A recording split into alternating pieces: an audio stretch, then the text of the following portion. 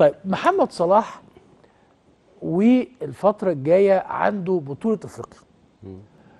وهو ما حصل ما لم يتحصل على بطولة إفريقيا مع المنتخب المصري. هو لعب 17 وصلنا للنهائي لكن لم نوفق.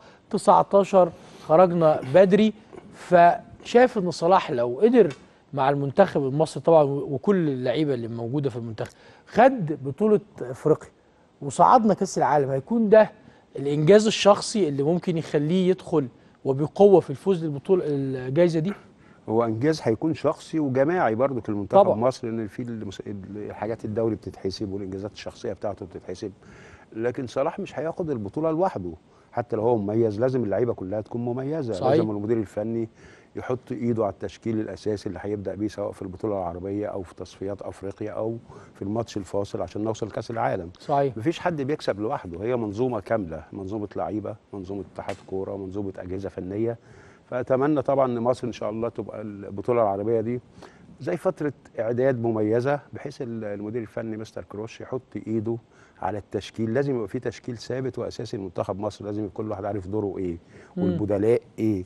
على أساس مش عايزين نبتدي نقعد نختار كتير. لا أنا يا اثبت 17 18 لعيب أبتدي دول هبدا بيهم بقى البطولة العربية تصفيات بطولة أفريقيا تصفيات كأس العالم الماتش الأخير.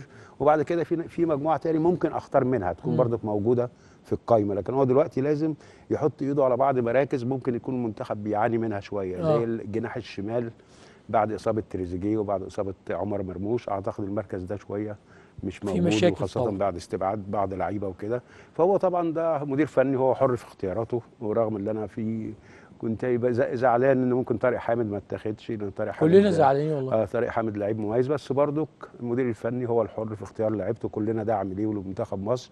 وممكن الفترة الجاية نلاقي دور طارق حامد موجود مع المنتخب. ويهمنا إحنا دايما يهمنا منتخب مصر يعني. طيب القائمه اللي هو اختارها في بطولة العرب يا كابتن واثق إنها ممكن تعمل نتائج كويسة وتوصل للنهائي على الأقل ولا لأ شايف إنه العشر لعيبة اللي ما لعبوش قبل كده الشباب إنهم ممكن ما يأدوش المطلوب منهم. لا أنت بص عندك الدوري ال- المصري مميز قوي معظم اللعيبة دي تم اختيارها من الدوري المصري صحيح. ولاعيبة مميزة وفي اللعيبة الأساسية موجودة. إحنا عندك بس اللي هم المحترفين اللي مش موجودين. مظبوط. لكن كرة القدم لا تعطي إلا لمن يعطي لها. مم. أنا مش هكسب وأنا قاعد بقول أنا منتخب مصر وأنا صاحب تاريخ. لا لازم أجتهد في الملعب.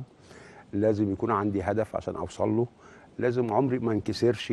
لو وقعت لازم أقوم بسرعة. أهم حاجة اللي أنت تبقى عندك هدف وقوي وفي شغل بقى مدير فني في شغل لعيبة في شغل نجوم في الفرقة.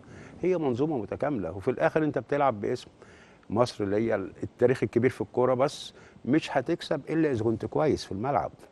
انسى التاريخ انسى الأسامي انسى كل حاجة. 90 دقيقة هي اللي بتحدد إذا كنت ممكن تكون شامبيون بطل أو مش بطل.